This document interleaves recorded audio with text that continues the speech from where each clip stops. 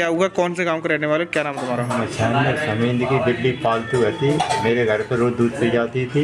हमने मैंने रोका उनने हमें मारपीट कर दी। कुलारी से दे कुलारी से मारा। कितने लोगों के साथ मारपीट की है? सात पाँच छः लोग थे यहाँ आरफ जावेद मुबारक साहिब समीद। एक बाहरी है तो बने के नामदार। तो इन लोगों ने मिलकर मारा है? हाँ सबने मिल के मारा। अच्छा कितने लोग घायल हुए हैं आपके घर के? तीन लोग। हैं। दो बच्ची है मेरी। और ये भाई पत्नी है। कहाँ चोट आई है आपको? चोट हमारी आँख पूरी है। मैं में जब जो दिखाई रही कुलारी में जब बिड़ी सूजी और जब जब पट्टे सूजी जा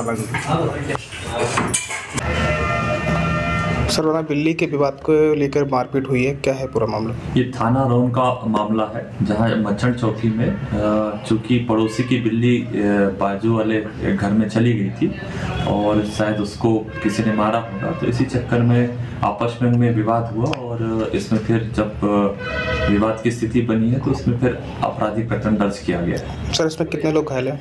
इसमें तीन लोग घायल हैं।